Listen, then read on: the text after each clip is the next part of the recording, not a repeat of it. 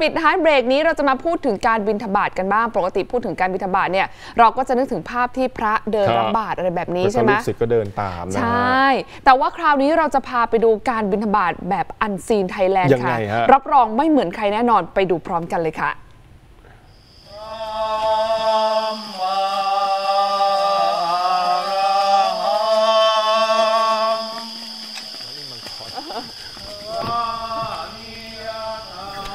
แปลกจริงไหมล่ะพี่แบงค์โอ้นี่คือบรรยากาศในช่วงเช้ามืดนะคะครับแล้วชาวบ้านแถวนี้เขาก็จะเห็นจนชินตาแล้วกับภาพของพระพิสุสงฆ์ที่ขี่ม้าออกบิณฑบาตคือระหว่างออกไปบิณฑบาตก็จะมีเสียงสวดสัมมาอรหังดังก้องขุนเขาครับแล้วก็เสียงจังหวะฝีเท้าของพระนะคะ ที่ขี่ม้าไปตลอดเส้นทาง พระพิสุจะต้องขี่ม้าลัดเลาะไปตามเส้นทางคดเคี้ยวตามแนวป่าและไหล่เขา กว่าจะเข้าสู่หมู่บ้านก็รุ่งเช้าพอดีค่ะโอ้ โหโดยเราก็จะเห็นเนี่ยพอไปถึงเนี่ยชาวบ้านเขาจะเตรียมข้าวปลาอาหารมารอใส่บาตรกันเป็นจำนวนมากครับก็สะท้อนนะความผูกพันของพระ แล้วก็ชาวบ้านที่เขายึดโยงกันด้วยธรรมะอ่าแล้วก็ชาวบ้านเนี่ยในพื้นที่ห่างไกลก็ได้มีโอกาสใส่บาตรนะบางทีทางมันคดเคี้ยวมากเราเดินไปไม่ไหว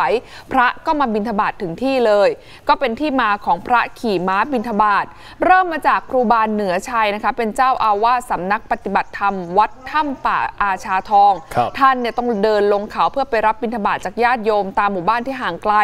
ก็อย่างที่บอกถนนหนทางมันไกลนะโอ้โหมันขึ้นเขาลงเขานะกว่าจะไปถึงกลับวัดเลยเวลาฉันเพลไปแล้วไงโอ้โหโอ้ชาวบ้านเนี่ยก็รวมตัวกันนะนำม้ามาถวายแล้วกันครับให้ท่านเนี่ยใช้เป็นพาหนะในการเดินทาง จะได้พอรับบาตรเสร็จกลับมาฉันเพลทันเวลาที่วัดพอดี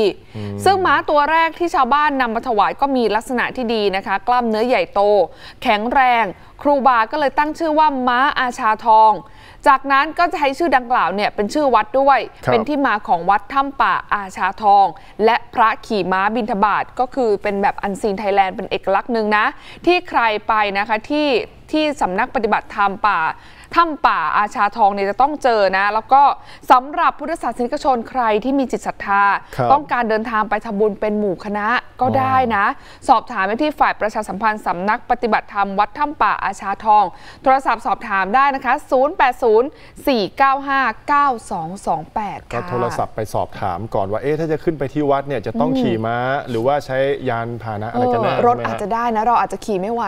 ไม่ได้เคยขี่มาก่อนอะไรอย่างเออนี้แล้วมันอาจจะบอกว่าเอ้ยอย่ามาขี่เลยตัวก็ดูหุ่นด้วยนะอะไรโอ้เงี้ยยสงจริสางรเหรม้าอสะเทือนจังฮะก็นี่ถือว่าเป็นอันซีนนะแปลกจริงๆเป็นการบินทอืมบาทที่แปลกแล้วก็ไม่ค่อยได้พบเจอนะครับใช่ชมข่าวติดปากนะครับ ที่ออกอากาศสดแล้วบางครั้งคุณผู้ชมเนี่ยอาจจะพลาดไม่ได้ชมฮะสามารถไปติดตามได้ใน YouTube รับชมย้อนหลังนะครับ ไปชมเสร็จแล้วครับกด Subscribe ด้วยนะครับ เดี๋ยวจะพลาดข่าวสำคัญแล้วก็ความสนุกสนานครับ